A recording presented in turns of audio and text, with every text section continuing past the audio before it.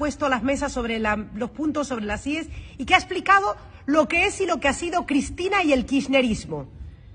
Esto clama al cielo. Argentina se desangra por una mujer desequilibrada que ha robado a mano llena, que se la acusa y que la justicia está hablando. Y resulta que Pablo Iglesias se va a Argentina y a hacerse también la víctima y a darle una palmadita en la espalda. ¿Hasta cuándo vamos a ver que los mentirosos, populistas y engañadores se siguen sumando para seguir engañando a la gente? Esto hace sentir vergüenza ajena. Pablo, vuélvete a donde estabas y deja que la justicia trabaje en Argentina para que a Cristina le den su merecido.